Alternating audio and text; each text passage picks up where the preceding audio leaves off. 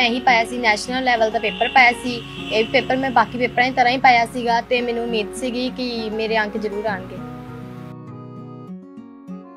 Selection ਹੋ ਗਈ ਹੈ। ਇਹ ਵੀ ਮੇਰੇ ਗਾਈਡ ਅਧਿਆਪਕ ਅਮਨਪ੍ਰੀਤ ਸਿੰਘ ਨੇ ਦੱਸਿਆ ਸੀ। ਦਾ ਤੇ ਮੈਂ ਮਿਹਨਤ ਕਰਕੇ ਪਾਇਆ ਹੈ ਤੇ ਮੈਨੂੰ ਬਹੁਤ ਹੀ ਮਾਣ ਮਹਿਸੂਸ ਹੁੰਦਾ ਹੈਗਾ ਕਿ ਮੈਂ ਸਾਰਿਆਂ ਦਾ ਨਾਮ ਰੋਸ਼ਨ ਕੀਤਾ ਹੈ। ਇਹ ਪਹਿਲਾਂ ਤੋਂ ਕਾਫੀ ਫਸਟ ਆਂਦੀ ਰਹੀ ਆ। ਤੇ ਅਸੀਂ ਇਹ ਸੁਪਨਾ ਵੀ ਨਾ ਹੁੰਦਾ ਵੀ ਕਦੀ ਸਾਡੀ ਬੱਚੀ ਇਹ ਇਦਾਂ ਦੇ ਕੰਮ ਕਰੇਗੀ।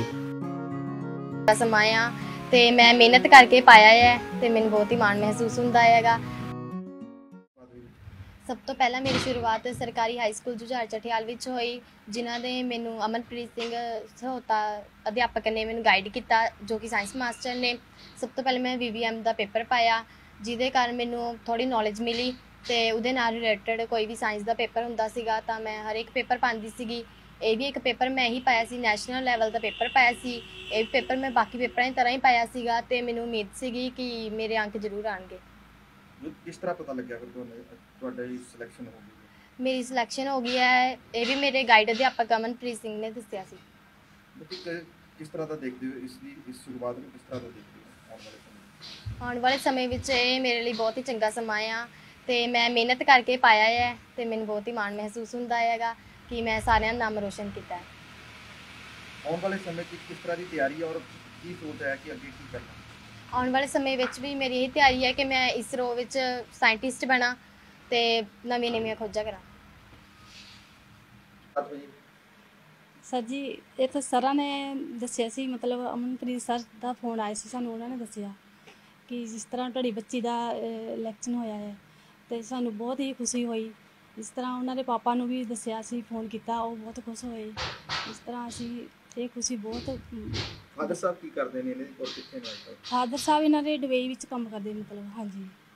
ਬੱਚੇ ਦੀ ਇਸ ਉਪਲਬਧੀ ਨੂੰ ਕਿਸ ਤਰ੍ਹਾਂ ਦਾ ਦੇਖਦੇ ਹੋ ਆਉਣ ਵਾਲੇ ਸਮੇਂ ਵਿੱਚ? ਅਸੀਂ ਤਾਂ ਚਾਹੁੰਦੇ ਹਾਂ ਕਿ ਇਹ ਮਿਹਨਤ ਕਰੇ ਅੱਗੇ ਜਾ ਕੇ ਹੋਰ ਵੀ ਜਾ ਕੇ ਮਤਲਬ ਵਧੇ ਹਾਂਜੀ।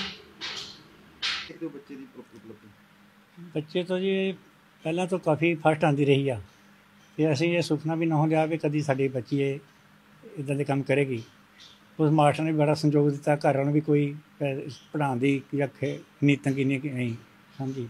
ਜੋ ਵੀ ਬੱਚੀ ਸਾਡੀ ਕਹਿੰਦੀ ਰਹੀ ਹੈ, ਇਹਨੂੰ ਸਭ ਕੁਝ ਕਰਦੇ ਰਹੇ ਹਾਂ। ਬਾਕੀ ਟਿਊਸ਼ਨ ਵੀ ਦਿਖਾਈ ਹੋਇਆ, ਬਾਕੀ ਵੀ ਜੋ ਵੀ ਇਹਨੇ ਆਪਣੀ ਮਰਜ਼ੀ ਨਾਲ ਕਹਿੰਦੀ ਮੈਂ ਇਹ ਕਰਨਾ, ਜਾਂ ਪੇਪਰ ਪਾਣਾ ਹੀ ਪਾਣਾ ਉਧਰ ਵੀ ਇਹਨੇ ਖਰਾ ਸਿਲੈਕਟ ਕਰ ਲਿਆ। ਸਾਨੂੰ ਬਹੁਤ ਖੁਸ਼ੀ ਹੈ ਕਿ ਸਾਡੇ ਪਿੰਡ ਦੇ ਜਾਂ ਆਪਣੇ ਜ਼ਿਲ੍ਹੇ ਦੇ ਨਾਮ ਰੋਸ਼ਨ ਕੀਤਾ। ਸਾਨੂੰ ਸਾਰੇ ਪਰਿਵਾਰ ਨੂੰ ਖੁਸ਼ੀ ਹੈ ਔਰ ਬਾਹਰ ਜਿਹੜੇ ਸਾਡੇ ਲੜਕੇ ਗਏ ਹੋਣਗੇ ਉਹਨਾਂ ਵੀ ਇਹਦੇ ਡੈਡੀ ਹੁਣੀ ਵੀ ਚਾਚੇ ਚਾਚੇ ਵੀ ਫੌਜ ਵਿੱਚ ਆ ਗਏ ਉਹਨਾਂ ਨੂੰ ਵੀ ਬਹੁਤ ਖੁਸ਼ੀ ਹੋਈ ਹੈ ਕਿ ਸਾਡੀ ਧੀ ਨੇ ਇਦਾਂ ਦਾ ਨਾਮ ਰੋਸ਼ਨ ਕੀਤਾ। ਕਿਸ ਤਰ੍ਹਾਂ ਦਾ ਦੇਖਦੇ ਹੋ ਬੱਚੇ ਦੀ ਇਸ ਉਪਲਬਧੀ ਨੂੰ? ਕਿਉਂਕਿ ਪਰਿਵਾਰ ਦੇ ਵਿੱਚ ਖੁਸ਼ੀ ਦਾ ਮਾਹੌਲ ਹੈ ਕੀ ਕਹਿਣਾ ਚਾਹੁੰਦੇ ਹੋ? ਹਾਂਜੀ ਅਸੀਂ ਤਾਂ ਬਹੁਤ ਖੁਸ਼ ਹਾਂ ਕਿ ਸਾਡੀ ਬੱਚੀ ਇੱਕ ਪਿੰਡ ਚ ਸਕੂਲ ਚ ਉੱਠ ਕੇ ਏਡੇ ਵਜੇ ਮੁਕਾਮ ਤੇ ਪਹੁੰਚੀ ਹੈ ਤੇ ਅਸੀਂ ਬਹੁਤ ਜ਼ਿਆਦਾ ਖੁਸ਼ ਹਾਂ। ਕੀ ਕਹਿਣਾ ਚਾਹੁੰਦੇ ਹੋ ਅਜਿਹੇ ਹਾਲਾਤਾਂ ਨੂੰ ਦੇਖ ਕੇ? ਇਹੋ ਜਿਹੇ ਹਾਲਾਤਾਂ ਨੂੰ ਦੇਖ ਕੇ ਅਸੀਂ ਇਹ ਕਹਿਣਾ ਚਾਹੁੰਦੇ ਹਾਂ ਕਿ ਇਹ- ਸਾਡੀ ਬੱਚੀ ਵੱਖੇ ਦੇਖ ਕੇ ਹੋਰ ਵੀ ਬੱਚੇ ਥੋੜੇ ਪੜ੍ਹਾਈ ਵੱਖੇ ਜ਼ਿਆਦਾ ਧਿਆਨ ਦੇਣ ਤੇ ਇਹ ਆਪਣੇ ਆਪਣੇ ਮਾਂ, ਬਾਪ ਦਾ ਨਾਂ ਰੋਸ਼ਨ ਕਰਨ।